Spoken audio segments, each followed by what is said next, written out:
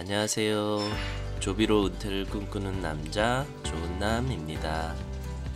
오늘은 2022년 7월 20일 수요일입니다. 오늘 조비의 주가는 전일 대비 6.6% 상승한 5.65달러의 장을 마감하였습니다. S&P 500 지수는 2.76%, 나스닥 지수는 3.11% 상승 마감하였습니다. 3대 지수는 장 초반부터 상승세였는데 투자자들이 예상보다 기업 실적이 양호하다는 점에 주목했다고 합니다.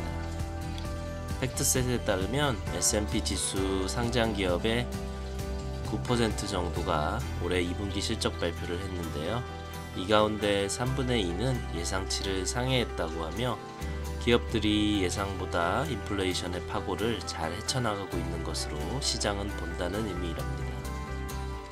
조비는 어제 조비 트위터에 북부 캘리포니아에서 진행 중인 비행 테스트 영상을 일부 공유했습니다.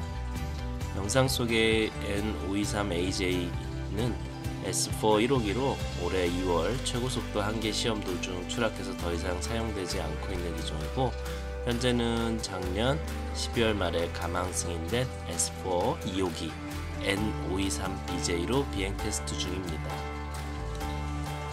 또 7월 17일에 상업용 및 군사용 모두를 위한 eVTOL 조종사 훈련 자료를 개발하기 위한 미 공군과의 지속적인 협력의 일환으로 최근에 모바일 시뮬레이터 트레일러를 텍사스주 샌 안토니오로 가져온 영상을 차례로 감상하시겠습니다.